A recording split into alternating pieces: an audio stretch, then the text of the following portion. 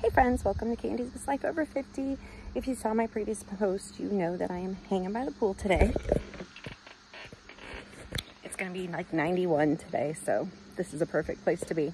And I'm sitting in the shade, so um, yeah, enjoying it. But um, I wanted to talk about Tractor Supply. So did you hear they went woke? Did you hear that rather than um, spend the money on their clientele to reduce prices of tools and products that people buy there all the time. I know people in my life that very much trust Tractor Supply. They only buy their stuff from Tractor Supply. Rather than them drop those prices to keep those people coming back, they decided to spend a whole lot of money to promote transgenderism. So, yeah, if you're into that, that's fine. But I don't know too many of those people. And when I say those people, I mean people of that group. You know, they call themselves things that they weren't born. Yeah, I think I've gotten red today, by the way. but anyway, yeah, those people, um, because I'm calling them those people because I want to, and this is my channel, they're never going to buy a dang thing from Tractor Supply. So why would they cater to people like that? So if you're a fan of Tractor Supply, I would think long and hard about where you're going to buy your future farm supplies, garage supplies, all the things that they sell, pet food, they sell plants, they sell little baby chickens, they sell all the things.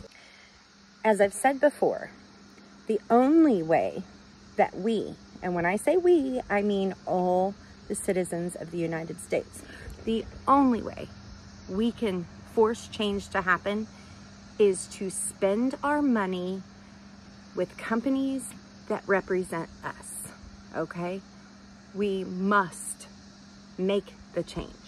So I'm gonna wrap up this video by saying, once again, don't buy from Aldi because they went like woke a while back don't buy from Kroger's because yes, last week I got an email from Kroger that decided to have the pride flag on it. Kroger, you're a grocery store.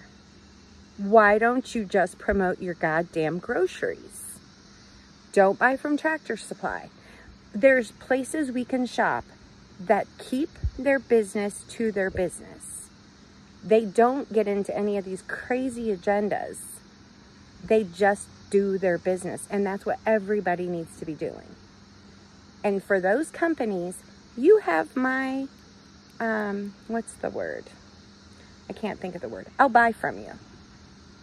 Because you're not forcing anything down my throat.